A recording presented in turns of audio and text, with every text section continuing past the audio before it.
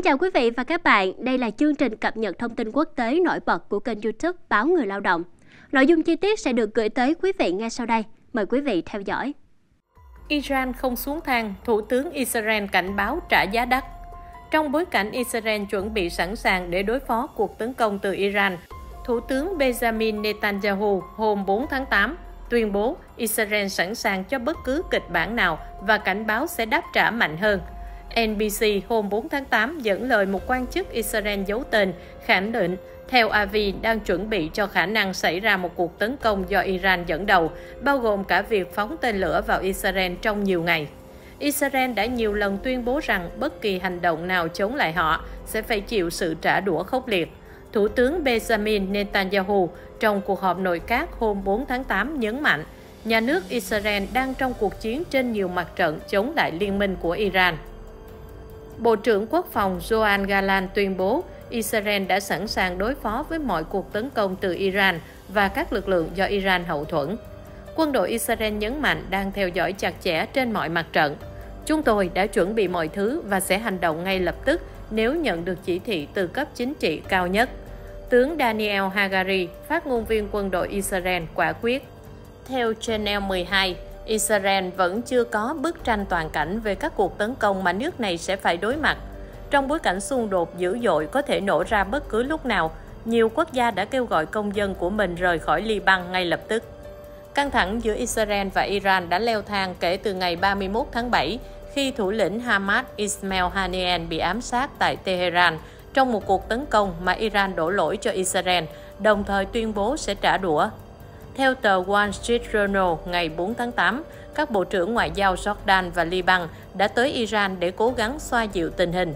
Tuy nhiên, Iran nói với các nhà ngoại giao Ả Rập rằng họ quyết tâm đáp trả Israel ngay cả khi phản ứng đó châm ngòi cho chiến tranh.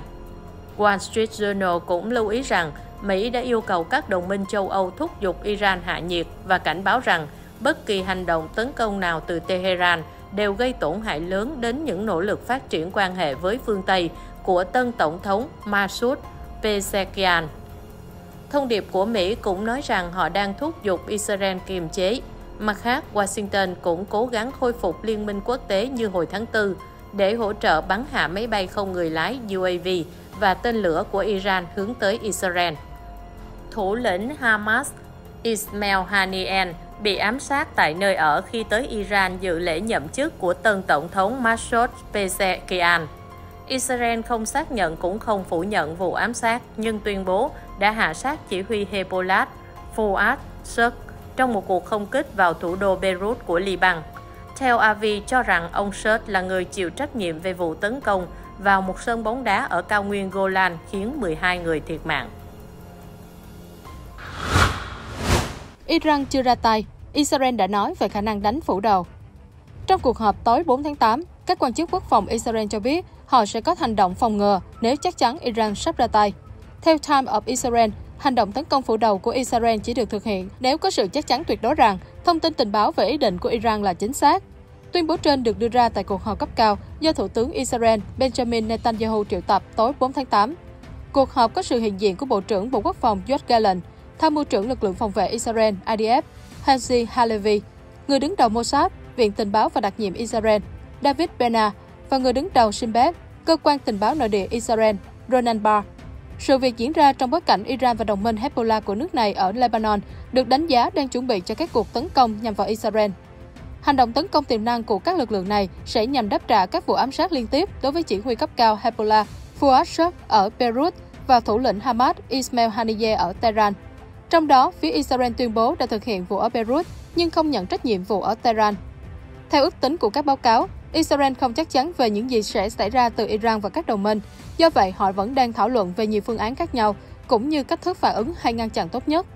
Về phương án tấn công phủ đầu, Israel cho biết họ sẽ cần thông tin tình báo của riêng mình về vấn đề này để khớp với thông tin tình báo của Mỹ. Ngay cả khi thông tin từ hai phía khớp nhau, họ vẫn có phương án khác để tránh tấn công phủ đầu nếu có thể. Cũng tại cuộc họp này, ông Netanyahu cho rằng Israel hiện đang trong một cuộc xung đột đa mặt trận với Iran và các lực lượng ủy nhiệm. Theo Euronews, tại một buổi lễ tưởng niệm cấp nhà nước ở Jerusalem cũng diễn ra hôm 4 tháng 8, Thủ tướng Israel nói rằng bất kỳ ai gây hại cho đất nước chúng ta sẽ phải chịu trách nhiệm. Ông đồng thời cho rằng Iran và các đồng minh đang tìm cách bao vây nước ông trên nhiều mặt trận.